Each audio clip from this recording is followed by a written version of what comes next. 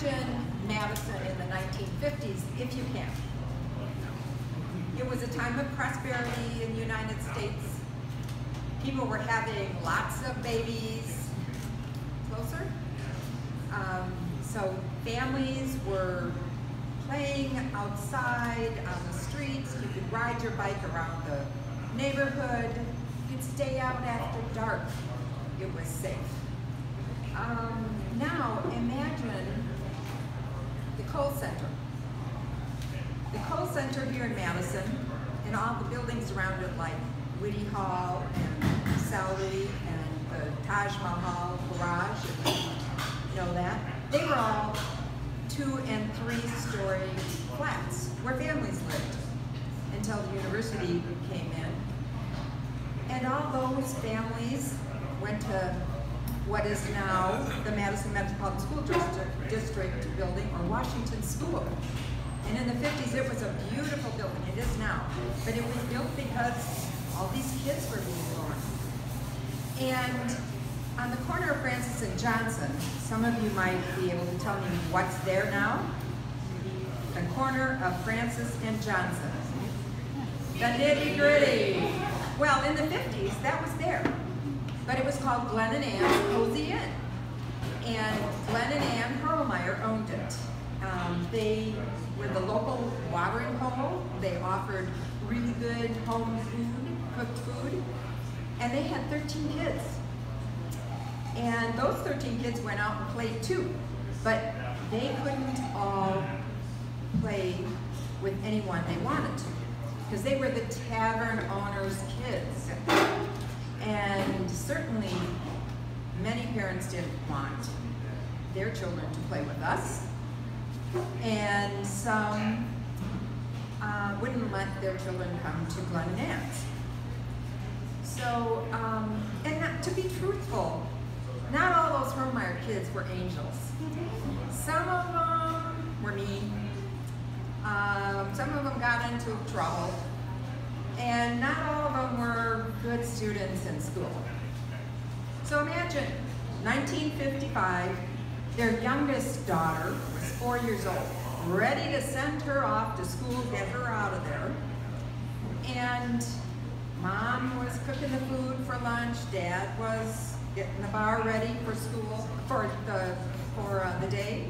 And so they sent their youngest four-year-old off to school with her older sisters, who were three and four years older than she was. They walked to school, which you could do then, to school.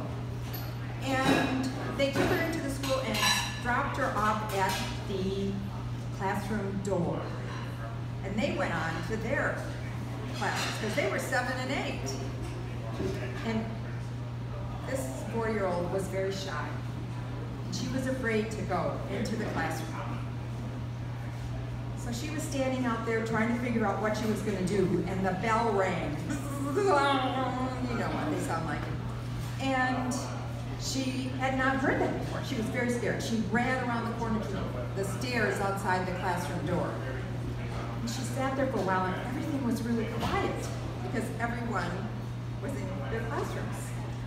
And slowly she started to cry because she didn't know what to do. And Nobody came to her rescue. So she cried a little bit longer.